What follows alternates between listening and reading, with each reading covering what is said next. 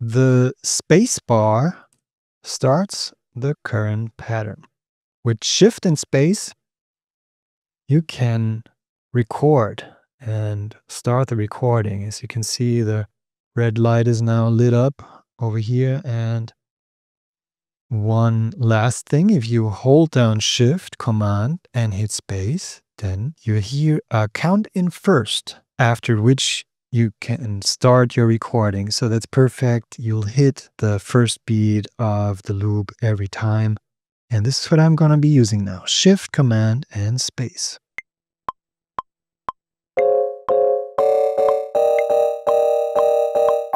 All right, let's stop this and listen to it.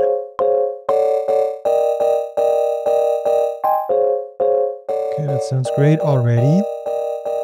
Let's select all these notes and quantize them so everything goes straight to the grid.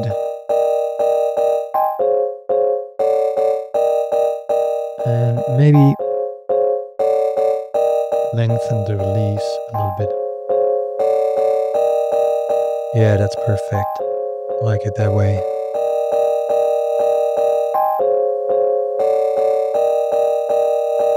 Now, patterns up here in this ideas view, they will repeat forever unless they are deactivated. And you can do this by clicking pattern up here, then it goes dark and it stops playing. But I want to keep on working and bring it back.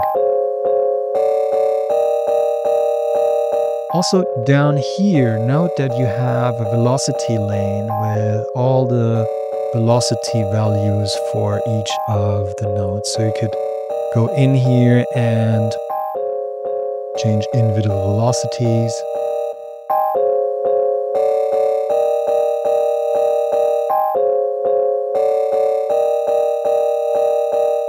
Also important to note that you can change the loop length by using this here.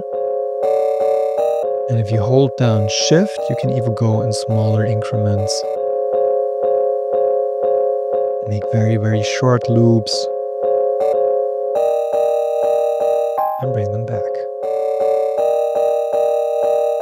You may wonder, I can hear different notes that have been played on the keyboard, but all the notes are on one separate lane only. If you go here and click that keyboard over here, this opens up keyboard mode. And as a matter of fact, this is where you find all your separate notes here. So I could also go and change some of the notes and bring it. Ooh, that was a little off, but you get the deal. Let's go one semi down. Yes. So here's where you added your notes and I guess all we need before we go to the next element is a little bit of labeling. So I double click the group over here and say chords, hit return, there you are.